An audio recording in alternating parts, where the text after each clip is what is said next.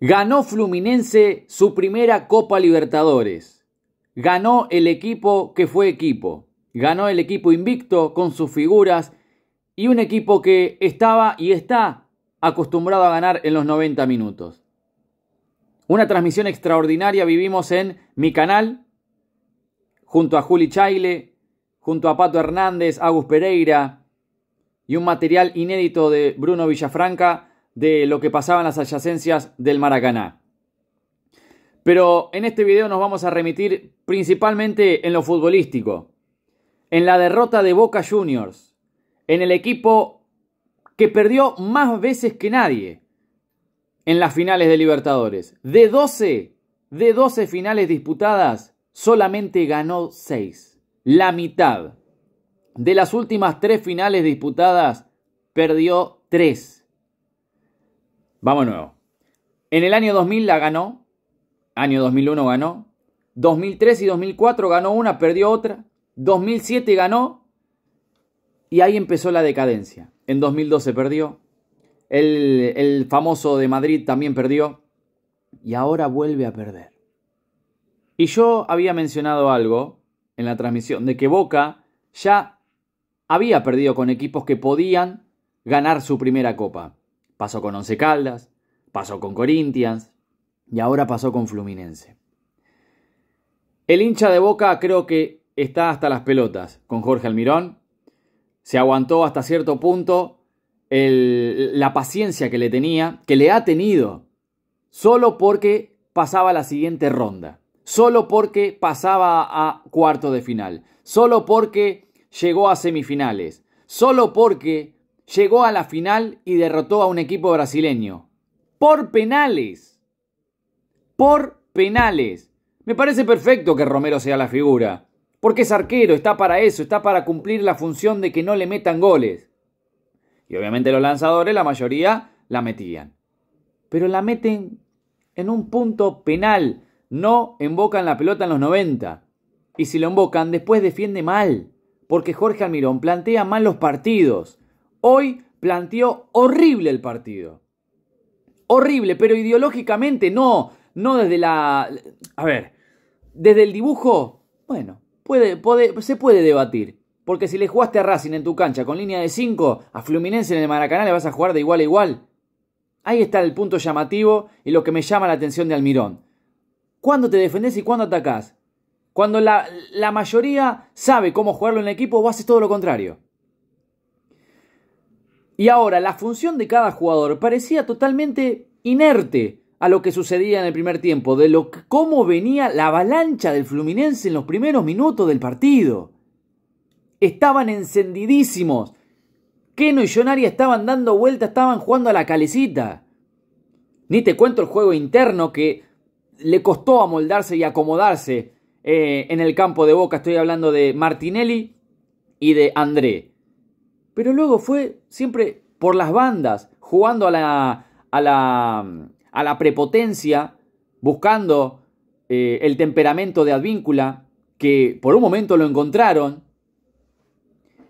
y luego a Fabra, que justamente por allí llegó el gol del Fluminense. Pero Boca se dejó estar. Se dejó estar, no jugó una final, hasta en el segundo tiempo te digo que tenía una actitud de no haber jugado una final.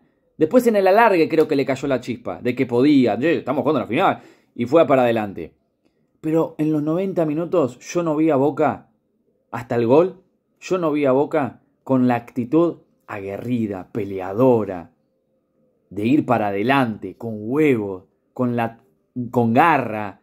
Eso no es mística. Eso ni siquiera tenés suerte. Eso en cuanto al juego colectivo. Se dejó estar y el Fluminense no, perdón, no durmió. Lo aprovechó. Lo aprovechó. Y en el caso de los jugadores puntualmente en Boca, las figuras que venían siendo en este certamen terminaron desapareciendo. Desaparecieron. Irreconocibles. Barco. ¿Cómo te van a cargar, Barco? ¿Ves por qué no tenés que sobrar al rival? No tenés título. No tenés ningún título como para hacer semejantes cositas interesantes que saldrán en los highlights de Valentín Barco en Boca Juniors con Mebol Libertadores 2023, pero que no ganaste. que jugaste una final como si fuese un partido con los veteranos, un fútbol senior. Regalabas la pelota y así Barco y todo jugó el peor partido en Boca. Y no fue porque le dieron una patadita a los, los jugadores de estudiantes el fin de pasado. Eh, eso no, que le acomodaron el pie al revés. Cavani. Cavani, yo en esta ya no te puedo salvar más. Eh, Edinson, eh, no venías de marcar goles. Aprobaba tu actitud en cuanto a ir, bajar, pivotear, darle siempre el pase al compañero. Hoy ni eso. Hoy Cavani, el carácter, la actitud de Cavani desapareció por completo. La seriedad estaba en su mirada. Eh, el objetivo estaba, pero la forma, creo que el cuerpo aplicó de otra forma lo que en la mente disponía. Y sinceramente Cavani hasta tuvo que darle casi un pase a Germán Cano para que sea gol de Fluminense. Entonces Cavani, hoy tampoco fue tu partido.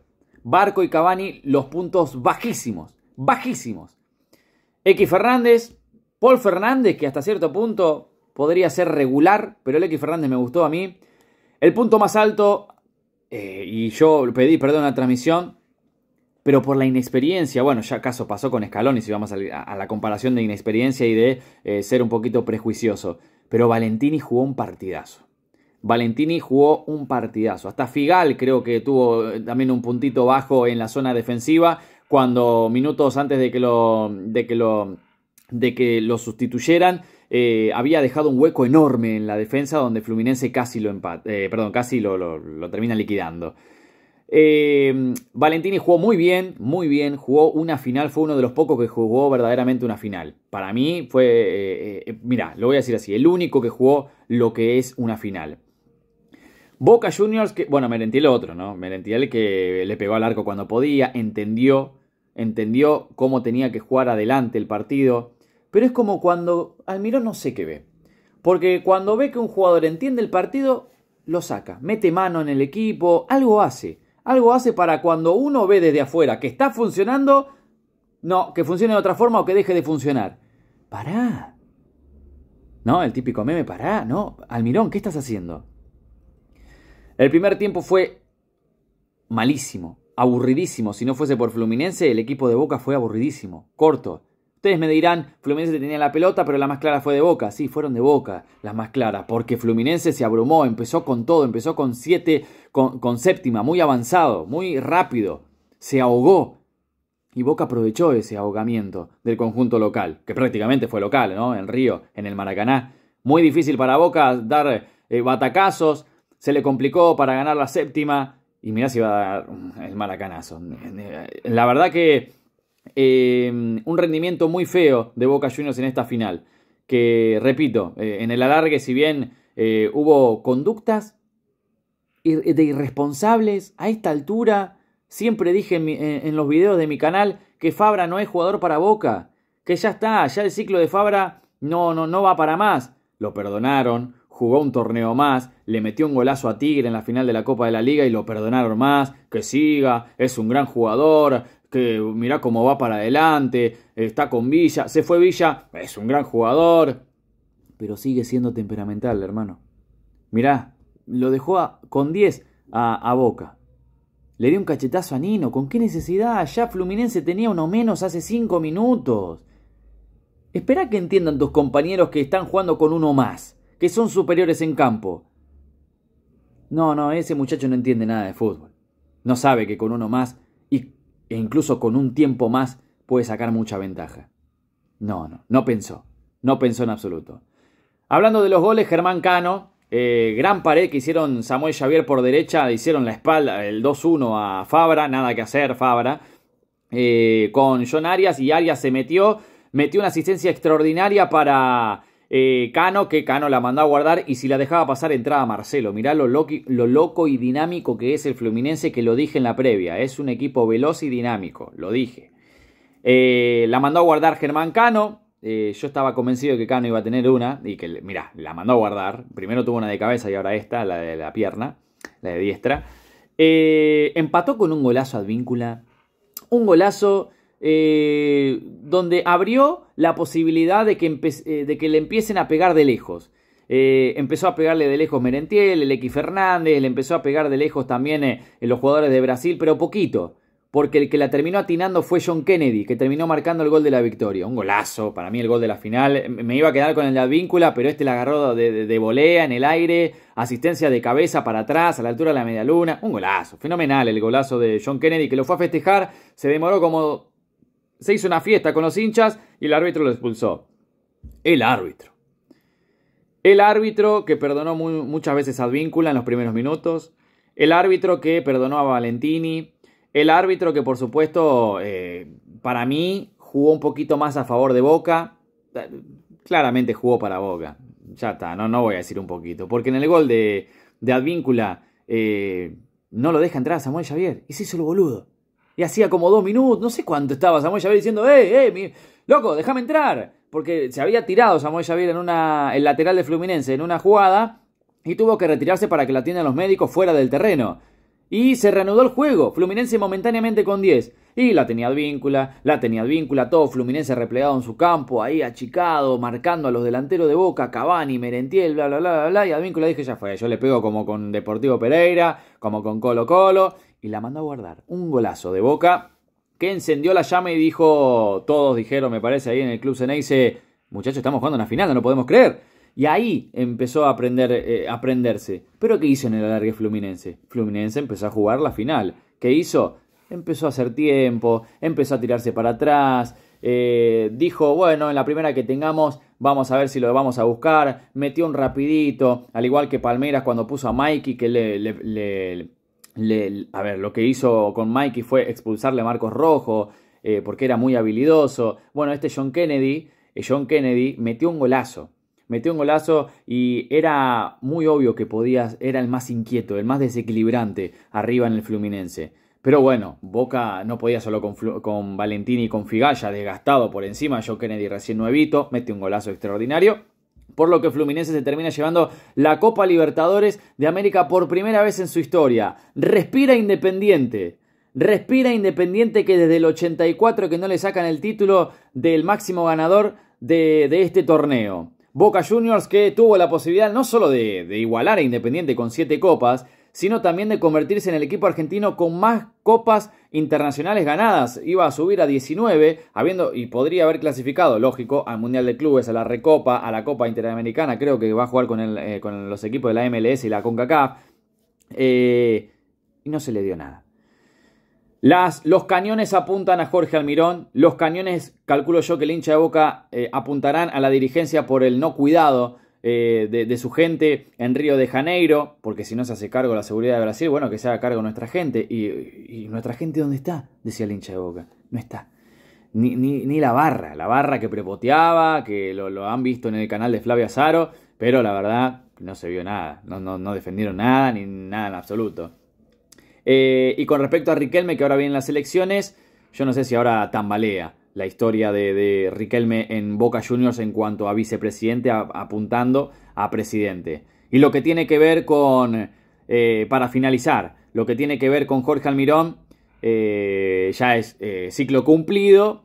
Hay algunos jugadores que están desgastados los hinchas que ya no aguantan más del cólera contra este entrenador que le quedó muy grande este equipo y claro está de que nunca fue un entrenador para equipos grandes, siempre ha sido de media tabla para abajo Jorge Almirón, eh, lo ha demostrado con Lanús, ha inflado Lanús, lo ha colocado en un puesto eh, donde se lo hizo respetar entre los grandes, llegó a una final de Libertadores, pero uno de los grandes del continente le dio una cachetada de realidad.